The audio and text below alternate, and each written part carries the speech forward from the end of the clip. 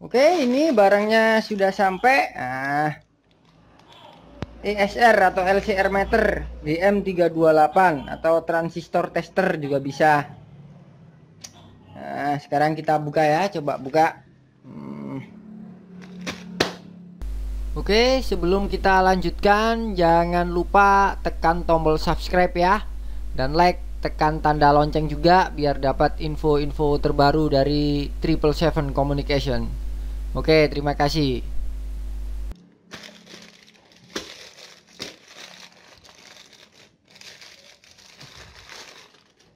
Kita unboxing isinya apa saja. Nah, saya pesen kit yang DIY.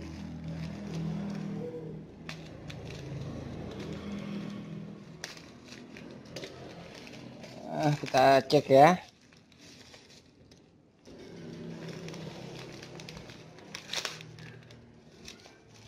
Ada buku manualnya. Nah ini buku manualnya ya. Pengukur frekuensi fre, uh, pengukur frekuensi 50 volt maksimal. Pengukur tegangan juga 50 volt DC maksimal. Hmm. ini gambar jadinya. Nggak ada lagi. Oke ini apa ini Oh, ucapan terima kasih. Sekarang kita buka isinya apa.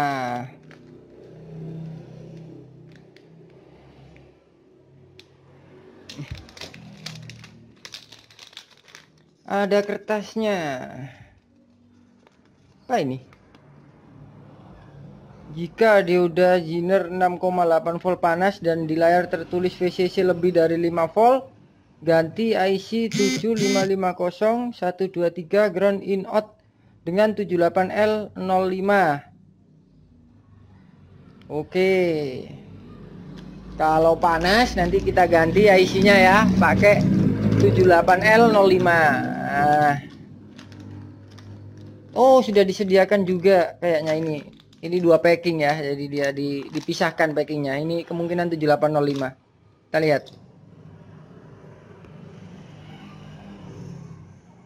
Bentar saya lihat.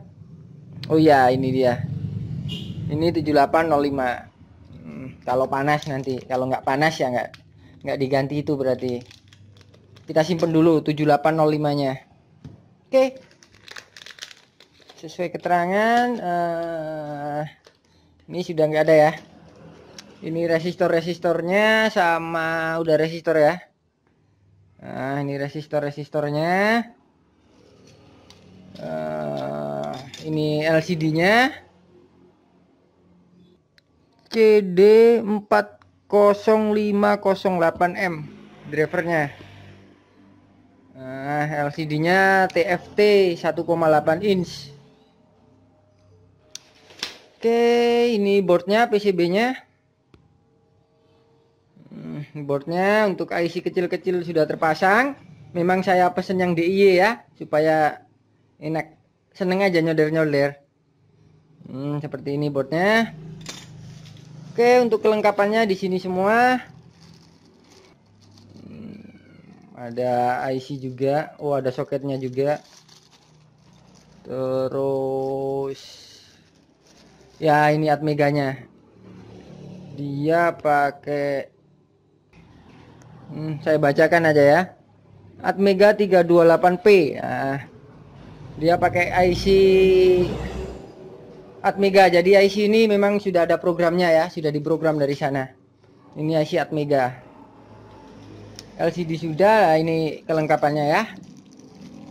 Hmm, oke. Okay. kita coba aja yang ini tadi resistor kita keluarkan kelengkapannya.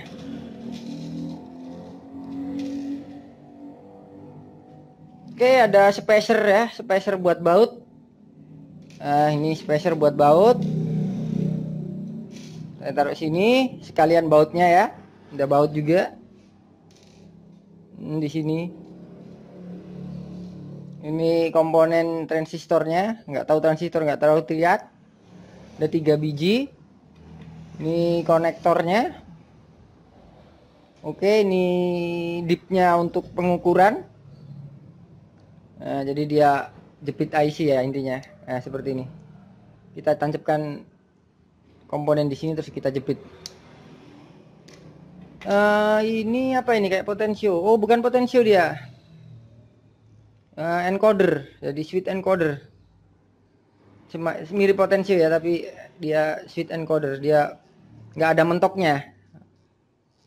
Beda sama potensio ini atmeganya ini soket buat atmeganya. Ini soket tegangan ya.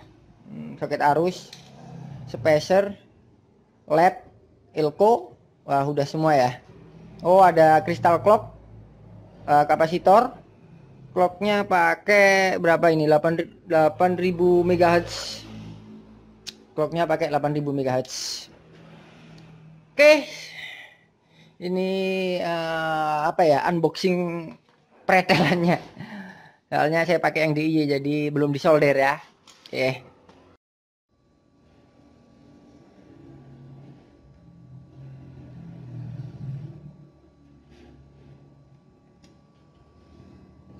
Oke, selesai disolder, kita potong. Kita potong sisa-sisa kakinya.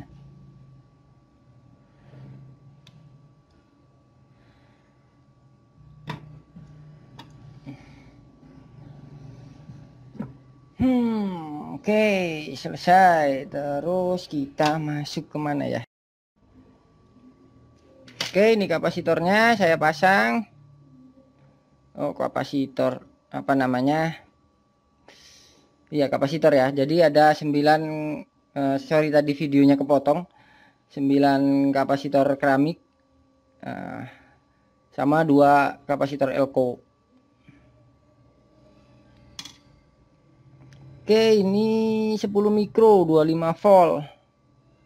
10 mikro. 10 mikrofarad atau UF. Sebentar, saya rapiin. Biar rapi aja.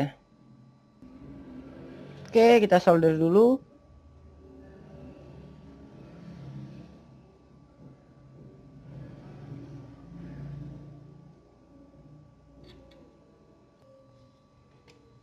Oke, kita potong kakinya, sisa-sisa kakinya.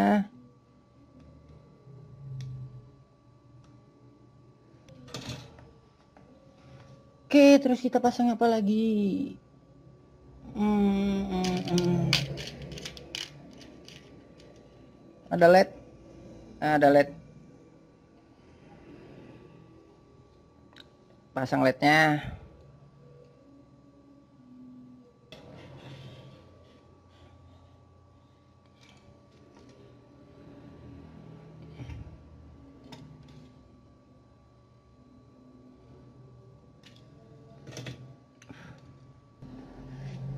Terus ada mungkin ada 78L juga. Ini ada 6 yang satu cadangan tadi. 78L05 kalau panas eh, regulatornya kita ganti pakai 7805 kita simpen dulu 7805 nya jadi kalau nggak panas dia nggak masalah. Oke. Udah 5 ya. 9014 7550 mana nggak kelihatan? 9014 9012 TL 431A Ntar saya rapikan dulu. Oke kita solder kita solder.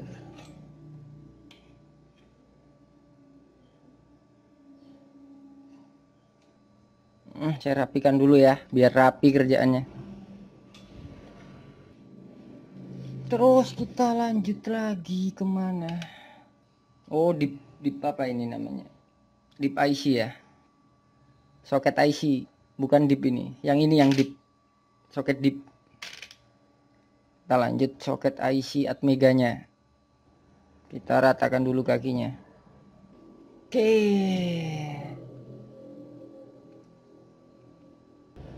Kita cek dulu.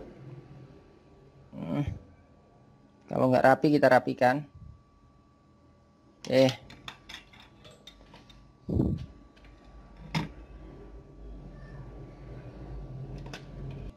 solder oke ini selesai selesai. Apalagi yang perlu disolder. Hmm, soket dulu ya. Ini sudah sudah sudah sudah. Ah ini soket untuk LCD nya hmm, soket untuk LCD nya nanti. Kita yang di board yang female ya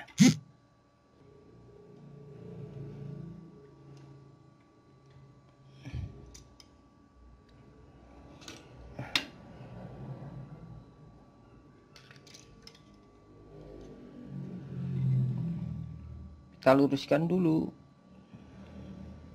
Diluruskan dulu. Oke. Hmm apalagi uh, sweet sweet sweet sweet power supply. Power supply sweet.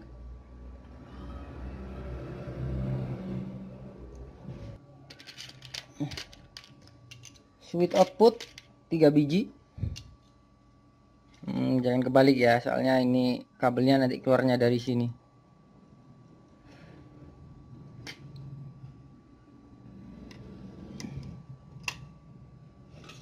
Oke kita ratakan dulu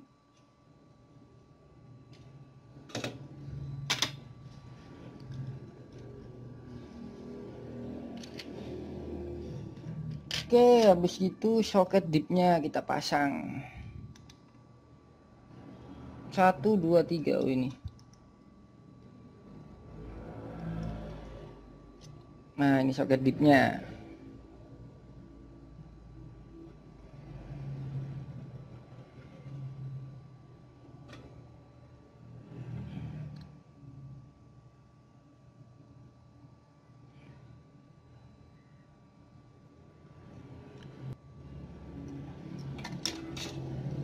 Oke, soket dipnya selesai. Terus encodernya kita pasang. Ini namanya red rotary, rotary encoder. Kita cek dulu rotary encodernya. Oke.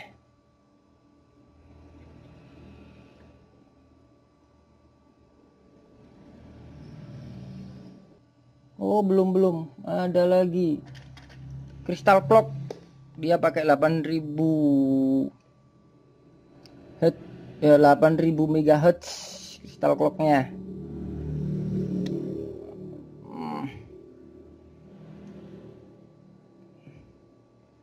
pakai 8000 MHz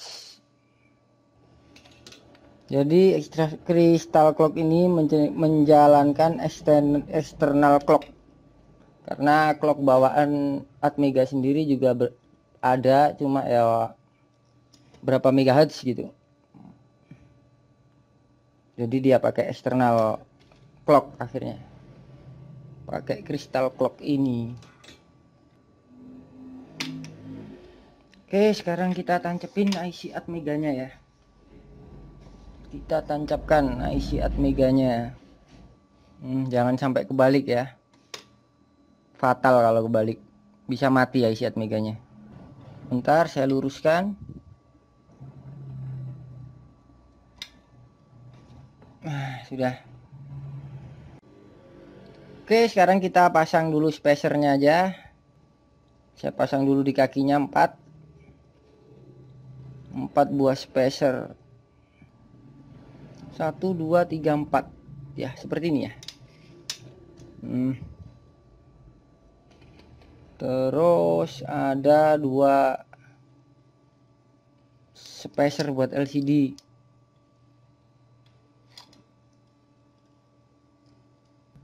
Oke kita ukur. Nah ini ada lebihnya. Oh segini ya. Nah ini nanti ada bautnya dari sini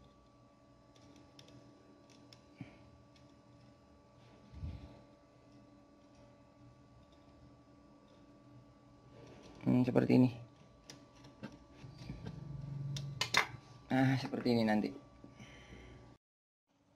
Oke ini penampakan jadinya ya. Nah sebentar. Jadi ini uh, power supply. Uh, dia menggunakan rotary encoder ya. Pakai push pas button.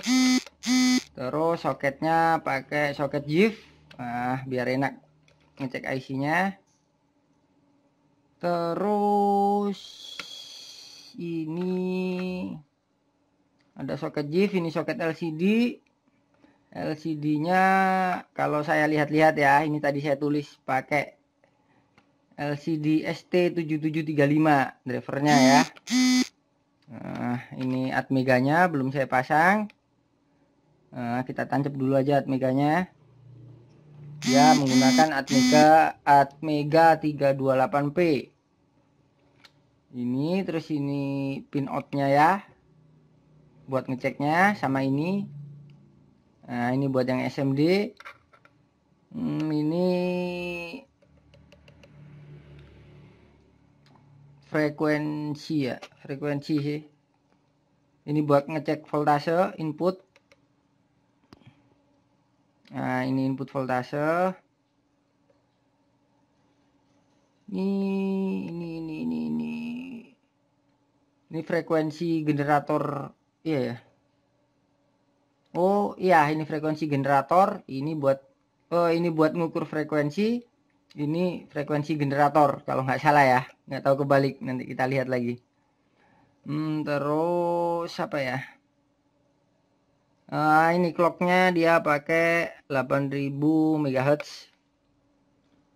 hmm, terus ada protektornya pakai SVR 5 hmm, jadi dikhawatirkan ada konsleting atau apa atau tegangan berlebih dia protektornya pakai SVR 5 oke habis ini kita coba ya kita pasang LCD nya nah oke habis ini kita coba. Oke ini sudah saya pasang semua. Hmm.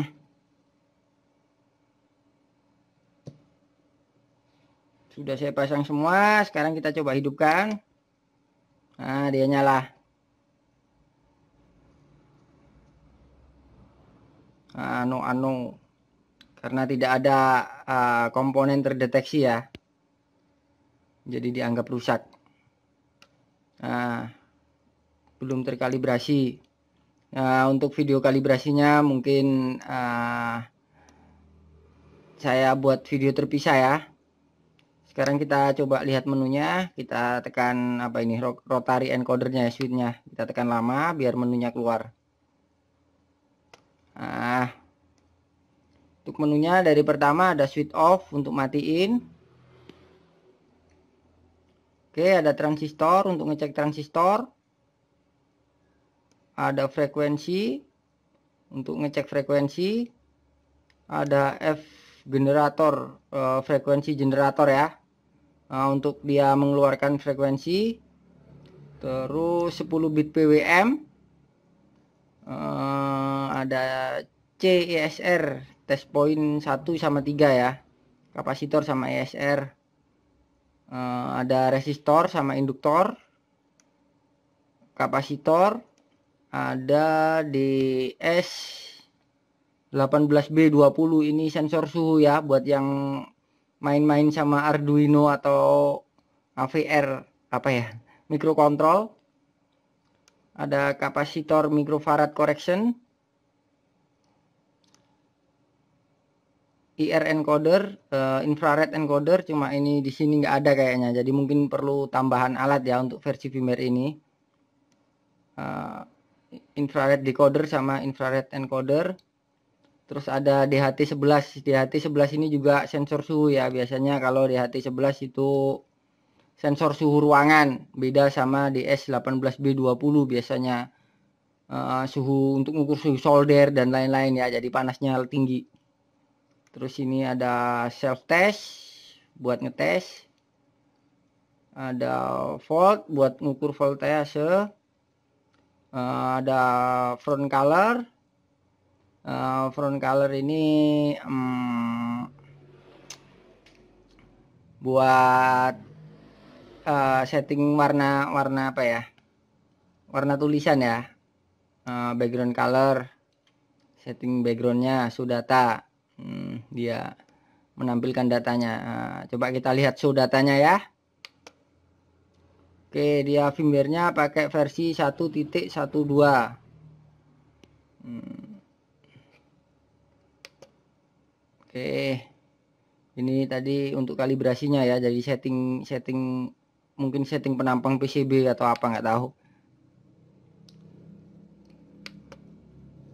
Nah jadi biar dia bisa ngecek BGT NPN PNP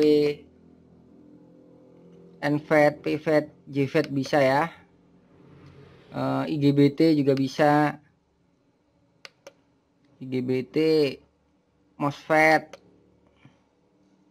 MOSFET nah, resistor induktor kapasitor dioda juga bisa nah ini nampilin tulisannya Oke, uh, untuk uh, mencoba menunya nanti kita pakai uh, video selanjutnya ya, biar nggak kepanjangan. Oke, terima kasih. Berarti sukses. Oke.